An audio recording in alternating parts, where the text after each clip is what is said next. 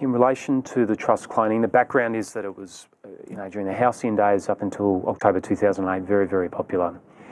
The tax position since then has been that it's impossible without relying on some other concession. So I'm talking, you know, there are situations that we've seen the ability to still do a trust clone historically, as long as you could get access to the small business concessions, as long as there were losses elsewhere in the group, as long as there wasn't actually any capital gain, as long as you could rely on rollovers under other provisions, so trading stock provision, whatever the case might be. Interestingly and annoyingly, uh, the stamp duty position is different in every state. So what that has meant is that, particularly in places like WA and Queensland, very useful.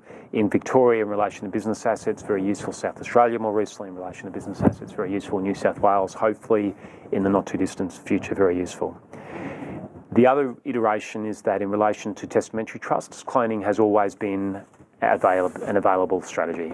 What that actually means, though, in a practical sense, is that you need a bit of a checklist if you're going to be going down this trust cloning path. And I've given you probably the top seven or eight that we think need to be on your checklist to make sure that that cloning is in fact going to be available and useful.